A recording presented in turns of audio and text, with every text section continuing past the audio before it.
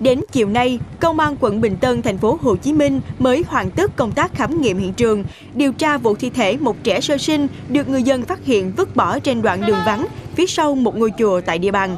Trước đó khoảng 9 giờ sáng cùng ngày, người dân sống tại hẻm 1768 tỉnh Lộ 10, phường Tân Tạo, quận Bình Tân, phát hiện một túi nhựa đặt phía sau chùa Long Thạnh có biểu hiện nghi vấn nên mở ra xem. Lúc này, người dân tá hỏa phát hiện bên trong là thi thể một trẻ sơ sinh còn nguyên dây rốn, được quấn bằng tấm khăn vải. Bên trong túi nhựa này còn có hai hộp sữa. Sự việc nhanh chóng được báo cho cơ quan chức năng. Bước đầu thi thể trẻ sơ sinh được xác định là bé gái. Công an quận Bình Tân đã lấy lời khai các nhân chứng cũng như tiến hành trích xuất camera an ninh quanh khu vực để xác minh làm rõ vụ việc.